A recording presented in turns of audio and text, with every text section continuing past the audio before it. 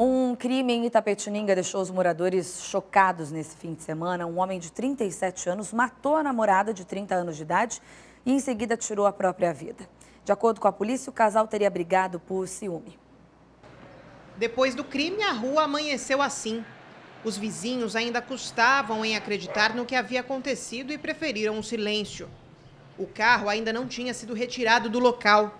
Foram ali os últimos momentos do casal Francisco Moacir Júnior, de 37 anos, e Yara Coelho da Silva, de 30.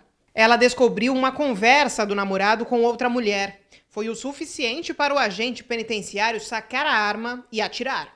Com Yara já morta, Francisco enviou um áudio aos amigos minutos antes de tirar a própria vida. Não sou uma pessoa má. É, ela me pegou um vídeo meu, cara. Me mandaram um link, eu entrei no site. Comecei a conversar com o cara do programa e, e ela me enviou foto e comecei a mandar vídeo. Ela, por causa desse, dessa foto, ela, meu, fez o, o inferno. Depois deste episódio, Yara proibiu o acesso do namorado no apartamento em que moravam em Sorocaba. Ele não aceitou e continuou tentando reatar o relacionamento. Pediu ajuda, inclusive, para os parentes. Queria que eles intermediassem a briga entre os dois. Ele pediu para tentar conversar com ela, para pelo menos ela deixar ele entrar para pegar as coisas. Ela não deixou, que ia, ia deixar, mas durante a semana, quando ela voltasse para Sorocaba. Como a tentativa não deu certo, Francisco alugou um carro e foi atrás de Yara em São Paulo.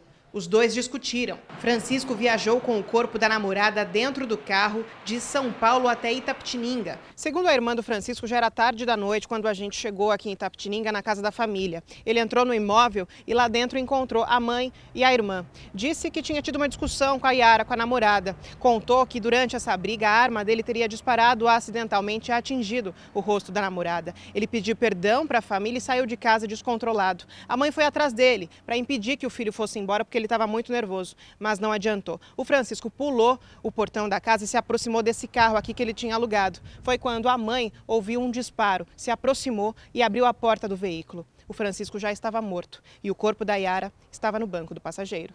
Minha mãe foi a primeira pessoa que entrou no carro. Desespero da minha mãe de tentar salvar o filho, sabe? É uma dor que não tem, não tem como descrever. A polícia foi chamada logo em seguida. Nós imediatamente requisitamos perícia para o local, né? É, análise de tudo, de toda, né? de tudo que tinha ali, né? De que poderia ser é, pode ser usado como prova, né? E para que a gente chegue ao mais próximo da verdade do, do que realmente aconteceu, né?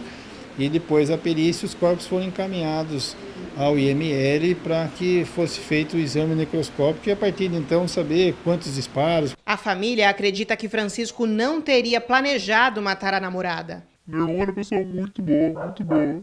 Ele jamais faria, jamais faria isso com qualquer pessoa.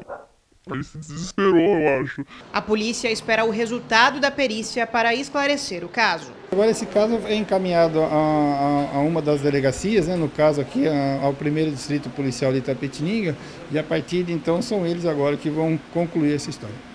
O casal tinha algum histórico, doutor? Algum boletim de ocorrência antes de agressão, de ameaça, algo que indique um crime? Que, que fosse relevante assim, a princípio não. O, histórico de briga, assim, a gente tem pela família, né? A família dele conta realmente que nesse um ano e meio eles tiveram muito, muita discussão, muita, mas assim, registrado de relevância não.